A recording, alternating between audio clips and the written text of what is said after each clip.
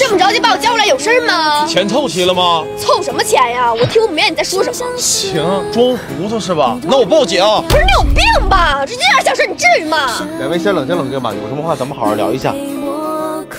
因为什么原因吵架呀？我之前工资卡一直都放他那里。前些日子我妈给我打电话，跟我说老家外的围墙倒了，想管我借点钱重新盖一下。我就寻思给他转两万块钱过去，结果一查银行卡余额就剩几块钱。我问你，这银行卡里钱呢？我说话！我问你钱呢？你跟我喊什么呀？我花都花了，你还想让我怎么样？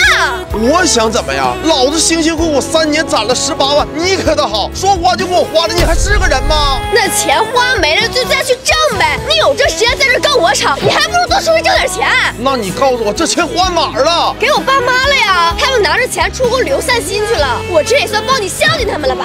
不是你怎么想的啊？你拿我的钱去孝敬你爸妈，你脑子没病吧？你怎么这么小气啊？那咱俩以后结婚不就是一家人了吗？我爸妈不也是你爸妈吗？你给他们花点钱有什么不乐意的呀？你爸妈是爸妈，我爸妈就不是了吗？那本来就是啊，你家村里的破墙倒了就倒了呗，还花？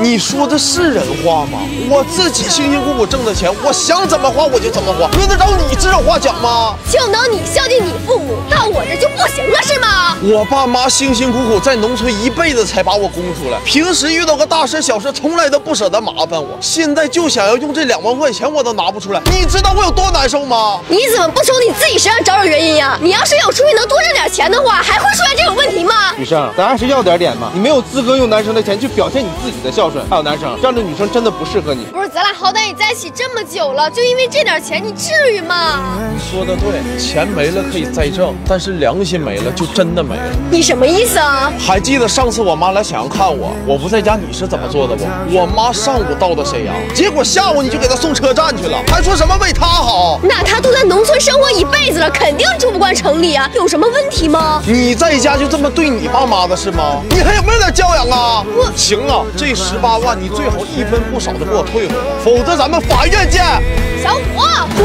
请允许我用哭泣为故事收场作序，你又何苦用无声来暗示分离？